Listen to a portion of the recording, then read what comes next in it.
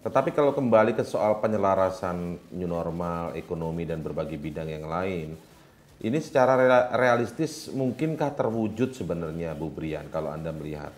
Karena kalau misalnya kita lihat contoh saja eh, apa namanya ini klarifikasi sekalian Bu ya, Bu Brian ya. Ketika kasus positif sempat melanda wakil wali kota Solo, ternyata yang bersangkutan punya riwayat bertemu presiden di istana.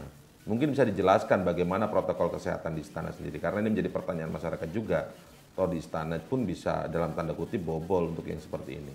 Kalau apa protokol di istana ini saya nggak tahu nggak nggak tahu persisnya ya dan hmm. ada ada pihak yang lebih berwenang untuk menjelaskan itu.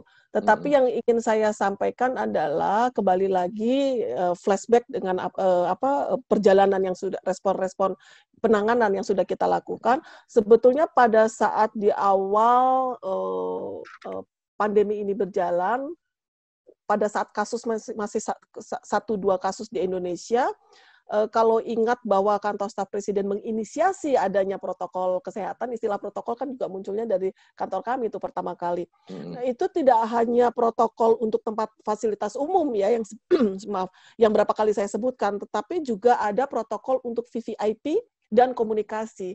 Nah, VVIP ini maksudnya adalah protokol kesehatan yang harus diterapkan apabila ada eh, apa namanya eh, pihak eksternal akan bertemu dengan VVIP atau sebaliknya VVIP akan melakukan kunjungan ke daerah hmm. yang memungkinkan terjadinya keterpaparan. Jadi itu hmm. sebetulnya kesadaran itu sudah sudah ada bibit-bibit dari protokolnya itu sudah dibuat jauh-jauh hari begitu. Hmm. Nah, Kemudian saya tidak tahu persis bagaimana kejadian yang kemarin, tetapi pada uh, apa pada prinsipnya tentu saja protokol dijalankan. Saya uh, paling tidak dari dari dari luar ini karena istananya kan bersebelahan dengan kantor staf presiden. Betul. Paling tidak dari luar itu uh, protokolnya cukup ketat ya. Pemeriksaan rapid test itu dilakukan uh, untuk semua uh, tamu yang uh, masuk begitu kan. Itu tetap uh, dilakukan.